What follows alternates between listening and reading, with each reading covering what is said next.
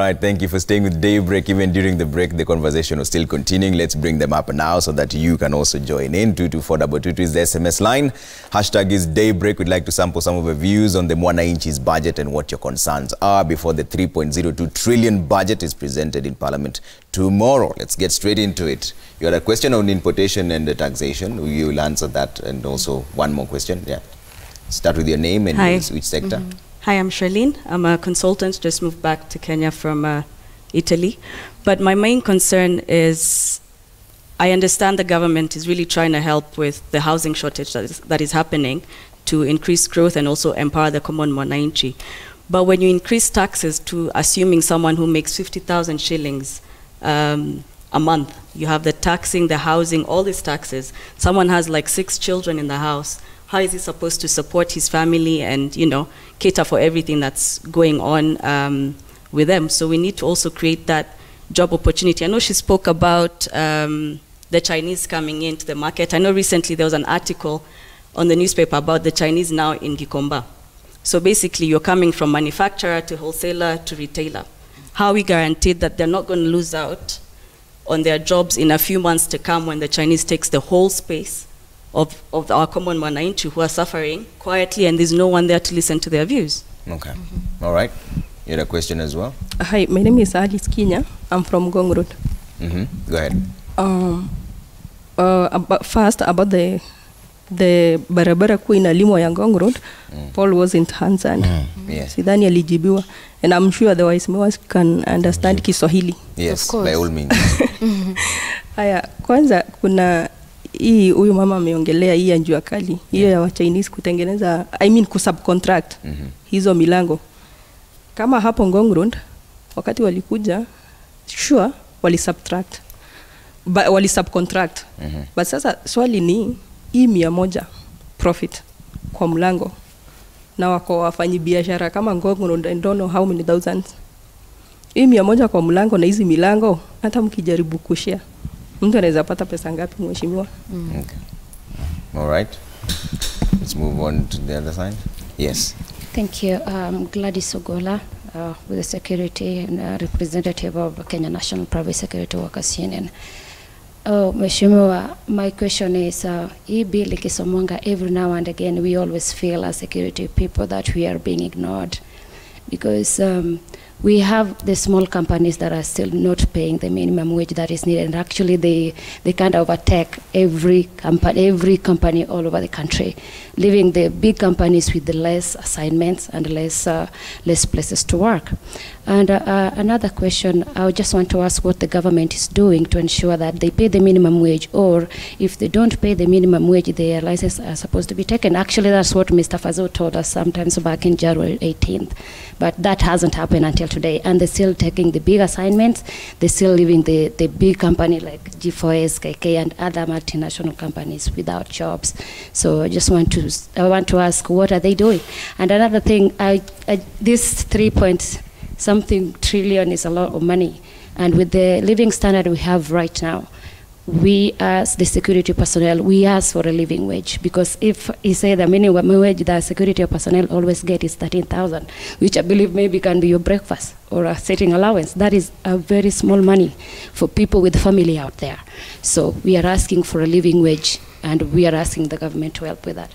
All right. And I think that's a very pertinent Very- point to very- start from. yeah. Yeah, you, you, I think you should respond to that. Let, me address even before that one. Yeah, but first of all, uh, because I don't have in my constituency G4S, I don't have KK, so I want the small uh, guy who I'm going to give Uwezo funds to compete with G4S. So that also I can empower. Because now when you say I don't give now, I give only to G4S, and uh, I don't have G4S in, in Ngong Road, but there's a guy there who, you know, the, the credit that my brother here is talking about, he needs to get that credit and say, Mimi, hata kama ni kumi, I'm going to hire. So let's, let's, let's look at it this way. We are not going to grow economy and jobs just by big business. We are going to grow economy and jobs if I have like a small company there which I have funded through my Uwezo there, yeah, ya Otieno ama Njoroge ama nani who is employing his fellow youths there. And actually, sorry, uh, madam, but I want, I want as many Kenyans to compete with G4S. Yeah. So that we can be able to create jobs and get those jobs down there. But on the minimum wage, I am, I am totally with you on the minimum wage. yes. And we need to um, task, and this is something I think Honorable uh, Lesuuda and myself will take up with the Labour Committee, to create mechanisms for uh, monitoring. And also, we look at, uh, for example, the office of the ombudsman. I don't know if you know of that office, which you want to strengthen. So that it is not you, if you're not meeting the minimum wage, unajua wewe ukipiga ripoti, you are going to be victimized. So we are going to empower the office of the ombudsman so they can be able to carry out random audits to be able to see that uh, people are complying with that. But let me come to, to uh, my sister's issue here about taxation. You know the big problem? All of you, I don't know, is any one of you here employed by government? Let me tell you what the problem in this country is. That 3 trillion shillings, unasikia, half of it goes to people who are employed by government. Recurrent expenditure. Recurrent expenditure. Mshahara, mandazi, travel, maua. And cars. And you know how many there are? In a country of 50 million people, they are not 1 million. And we have to ask ourselves question as Kenyans. For how long are 49 billion people going to carry the burden of 1 million? Yes. Because that is where the trouble lies. I'm telling you today, kila mtu wa serikali tuende kwa kila idara. If there are three drivers, baki moja, two of them go to Juakali. Go and make doors with Pamela. Yeah? Yeah? Until we have that courage. And we remove politics from all this when we want to do civil service reform. Unless we do that, and that is why I want to be president. Because I'm going to show Okay. Yeah? no campaign Yeah? strategy, Honorable Kuria. Let's begin. to, Let's to face the reality and tell people, Yeah. look, it is not the end of life Okay. If you are not employed by government because our expenditure will come down. Yeah. You will go out there, you will create jobs, you will employ other people, mm. and tax the tax base, taxation will Go come down, and the economy will grow and jobs will grow. Honorable Suda, there was another On the concern about the road construction. I think it came up from the Ngong, the guys who deal with the furniture along Ngong Road. Yeah. All right. If I got the question, you're asking where the you'll be moved to, or what is the issue? Um, the microphone, microphone. The question basically was where we'll be moved to, or if there's any other plan for, for us. You understand? Because now, if you displace like uh, more than one uh, uh, 1,500 uh, people, Yeah. 1,500 people, you know, it's it's a it's it really a, a big problem to us. So they plan to have in a different place where you that- can continue your business. That's, you know, if, if the government could have like a, a, a, program, you know, Yeah. to bring up Otojokali, watengeneze kama place moja so that Hold the mic closer to your mouth. You know where to go. If you want a bed, you know where to go. Okay. If you want anything, you know where to go. Karibisha mic. mm. Yes, uh, rather than you know uh, us being scattered like okay. wengine wako huko wengine wako huko. All right. Uh, ile barabara kibomolewa, we don't have anywhere to go. Okay. Honorable and, and I agree, and I agree with you, side. and not just a place, but also a place where it's accessible, where also you can continue to, to make business. Because where, where you are on the road, probably, you know, when we're driving past or anybody is driving past can easily access you. So access you uh, like where you are right now. So I think that is an issue that definitely has to be picked up, both by the county government and also by, by the national government because they're the ones who are doing the road. And just to pick up on what you're saying and what we said, we were just talking about before we went for the break, when we were on break. There is one link that is missing in this show. Yeah, we are here as legislators who force, who see the budget and everything when it's being done. Here are those who consume the budget and the policies that we make in Parliament. But there's an arm which executes what we pass and also executes directly on what uh, affects the, the, the affects uh, the, the, the, The public. yeah. So it is important that they also come and tell us this is what we're planning to do or what this is we're doing. For example, we have said as a budget committee and even as parliament, for example, on the pending bills, that before you start any other project or before you start any other program, could you please first complete or pay the, the people who have already worked or the people who have done work before starting another project? Because that is what is, is really uh, uh, taking us back and we need to ask the questions around it. But the implementers, so we pass it in, in parliament, it's there now in, in our policy, but the implementers, once they get the money, and you even wonder how they spent money which they did not have. Yeah. You, you know, because then why is that a pending bill? And so they also have to be in this conversation Yeah. so that we all discuss, Yeah. the policy makers, those who consume, and those who implement the policies that then are But, made. then how far does your oversight role come in? Because the Mwananchi elected you to represent their views. and They may not be exactly, and I agree with. I, ex I agree with what the lady has said on issue of, of the wage bill, uh, of the minimum um, uh, wage. Yeah. yeah. And just as my colleague has said, we will pick it up. And by the way, when we say we'll pick it up, we'll ask the question in Parliament. Yeah. We'll ask that committee, and the committee will sit down and come up with a framework. But at the end of the day, there is that implementer who has to then follow up. As you said, their licenses to be withdrawn, they, to make sure that it is happening for everybody. So they also they have will play a role to to oversight those ministries, to oversight the committees. We do that, and that's why you see your representatives actually asking those questions. Okay. But uh, most of the time, the, the implementers, and I'm sorry to say this, would sit in their offices in Nairobi. They have, and that's why they come up even with the policies on SMEs without really interacting with you to know what exactly needs to be happened. Or in some corner in my constituency in Samburu, they have no idea what my ladies with the beads really are, are going are going through at that point. Mm. And so we have to have that conversation Okay. round A just to ensure a 360 conversation. All right, let's bring in more questions here very briefly because we're running out of time. I'll start with you at the back. Yes. Thank you. My name's uh, Benjamin Osilwa Yes. from uh, the private security industry from Wells Fargo Company. Yes. I have two questions for Waheshimiwa here on the budget that is coming. Yes. Number one, we've seen incidents of insecurity, and the first people to be reached or the first people to raise the alarm are the, the private security officers. Okay. Recently, we saw it in uh, Dusit, and I want to appreciate uh, greatly what the guards did there Okay. because they blocked the entry of that car. That is why one of our in charge went and swiped. He had the car that opens the rear gate, and a lot of people escaped from there.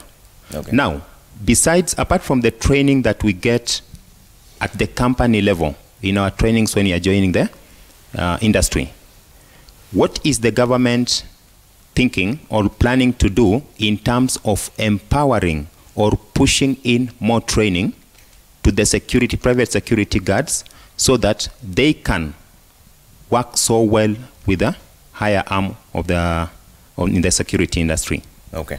then uh, question number two is uh, on the issue of uh, SACCOs.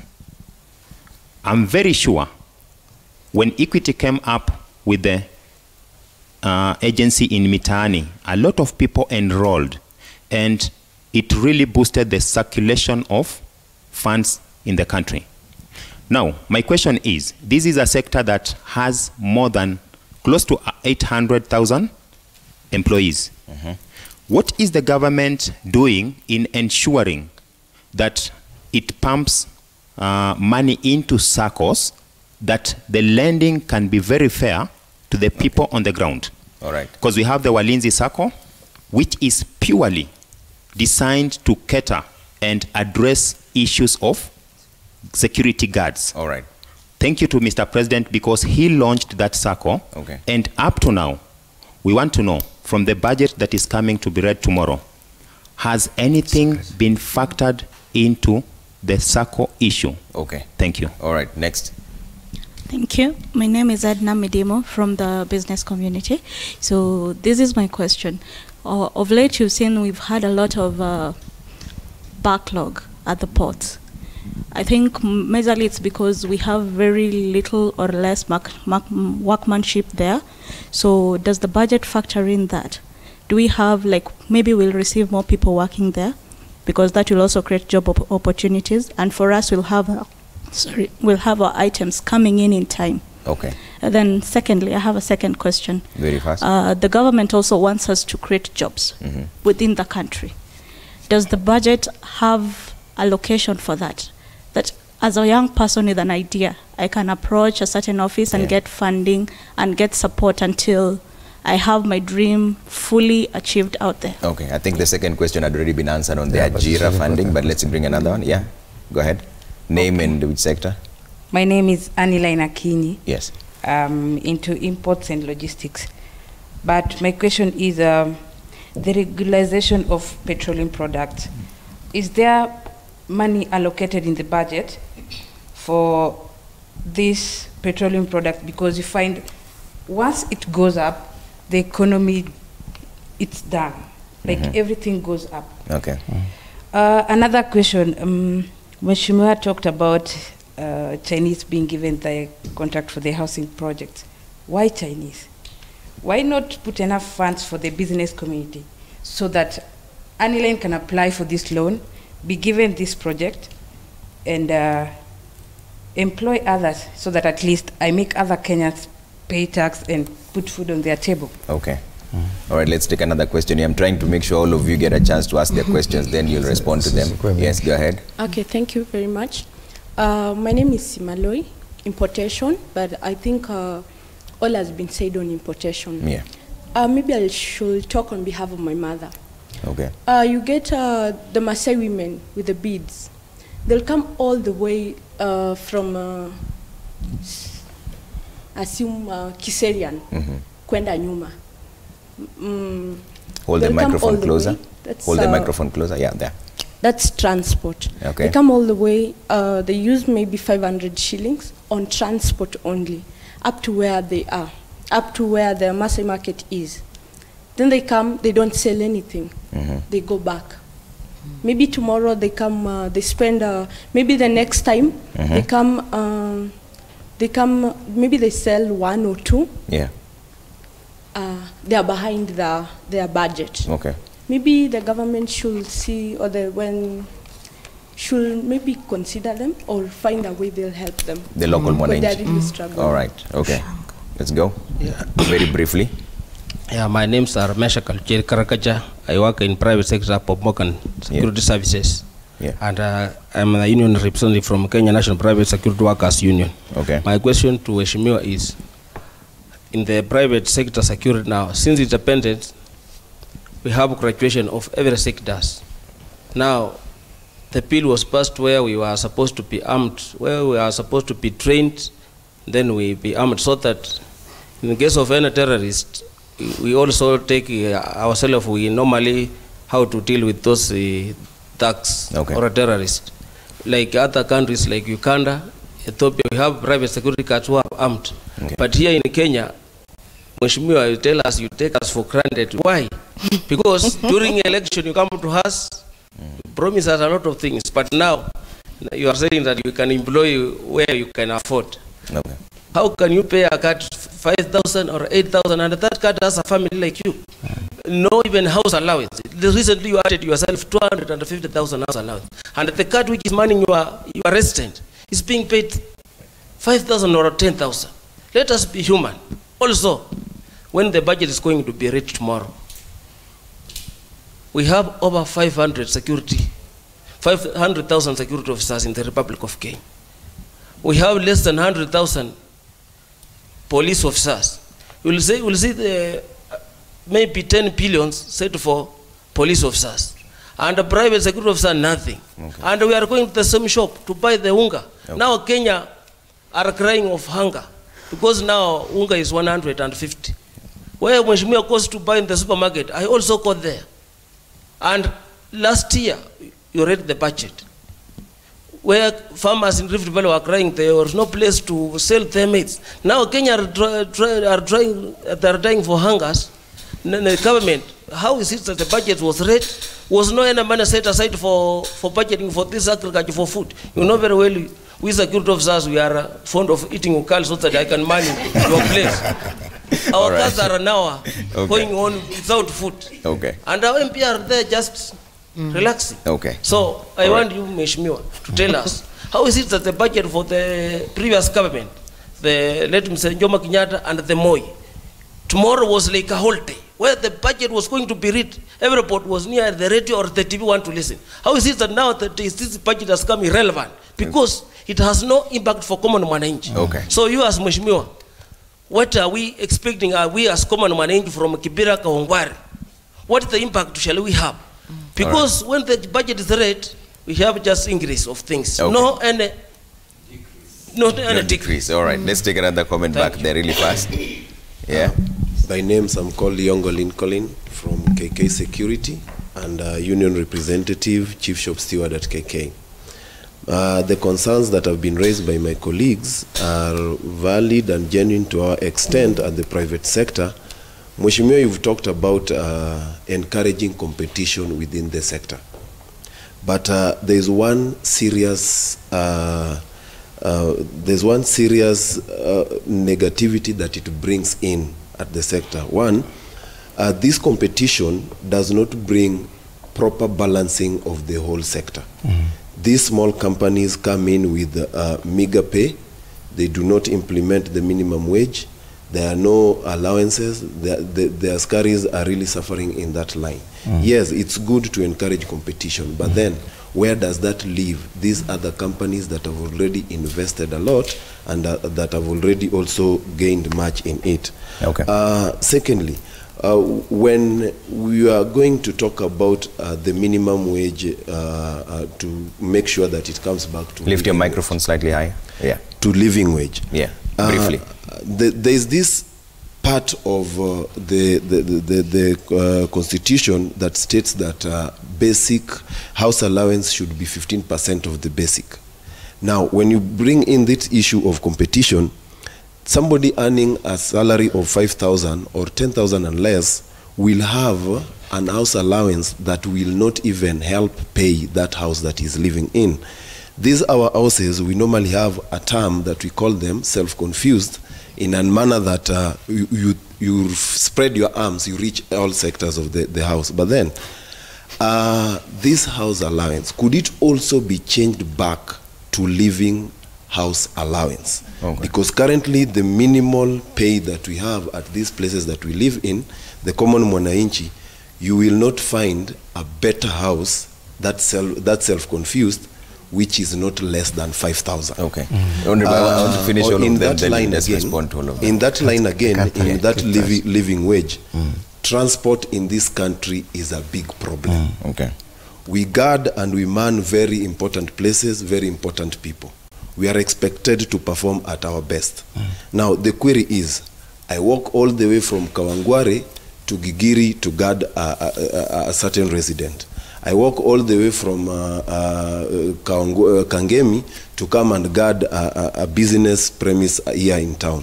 Now, this this me working is for me to ensure that my budget will help me to run through the month. Yeah. I'm trying to squeeze in myself to make sure that my family gets something. Okay. Remember, this balancing, uh, this sector has also created jobs to an extent that those who've, who are currently we have those who are educated, who have higher certificates, who've also come in because of lack of employment from the other sectors. Okay. Now, how do we help balance this issue of transport? Can you also factor it in so so as to also bring something like living transport alliance in All it? right, all right. Now, uh, my last take. this I'm, yeah, I'm really running out of time, and I need two yeah, of them just- to just give one, their please. comments really this fast. balancing, uh, this balancing that you're, you- you- we are crying out for in the issue of uh, bringing in competition.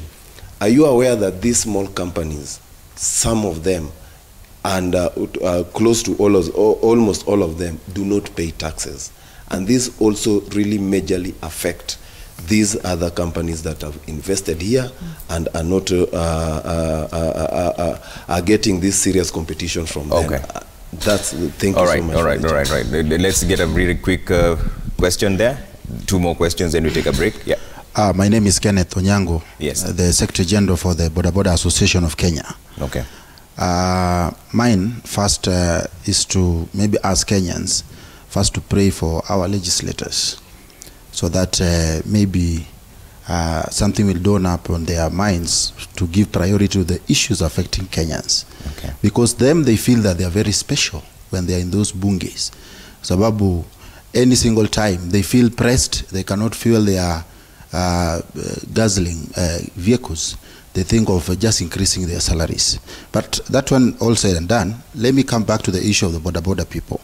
Uh, we have, uh, we've been told tunatoka analog tunaenda digital. Yeah. So there is a digital thing in the market today about uh, uh, the online uh, taxis, the online uh, border border and all that. Mm -hmm. These companies, I don't know why the, our legislators are not uh, really thinking that it is important to really uh, uh, regularize the way they are doing their job. Okay. Because, for instance, just imagine a boda boda operator will pick a passenger from the CBD all the way to Kawangware, and by reaching there, when you end your trip, the total amount that the customer is supposed to pay is 200 shillings. Okay. The company is charging 25% uh, ta- tax on that 200 shillings. Yeah. You have not factored in fuel, you have not factored in the wear and tear of that uh, motorcycle, and all that. And these companies keep on doing all this, and uh, our legislators who are supposed really to uh, factor in the issues affecting these uh, boda boda people, they are very silent. Uh, that is one. Number two, uh, I'm t- I, want, I want to, when they are talking about the budget, let them, let them factor in the appetite of our government to keep on doing borrowing every now and then. Yeah. Because these are the issues that are affecting our people. Unaboro, unaboro, unaboro mpaka sasa wewe mwenyewe unaitwa borrower. Sasa these things are affecting us na tuna suffer because at the end of the day unasikia mtoto hata ule asaie mimba ijatungwa Yeah. tayari anadaiwa 70000 na hata hajaingia in this country. Okay. So the last thing sisi tunatoka from the lake Yeah. the other day I heard President Uhuru talking about uh, kama samaki ni mbaya inatoka China iwachane naye but that fish is still coming here and we have our mothers still selling fish. Na hawa watu wanakuuza samaki. Samaki hayo haiwezi nunuliwa just because there's a cheap fish coming from China. Right. and our members of parliament in their 350 in that bunge are very silent. Okay. our people are suffering my friend. All right. Lastly, Majina yangu naitwa Faith. Mimi niko kwa sekta ya bodaboda. Ningependa kuuliza mheshimiwa, hivi sasa kama mimi msichana nafanya bodaboda, kuna wasichana wenzangu wangependa kuingia kwa hiyo sekta na hawana uwezo, hawana pesa ya kwenda training na hawana pia pikipiki. Mheshimiwa angewasaidia? Mimi natoka Kibera. okay.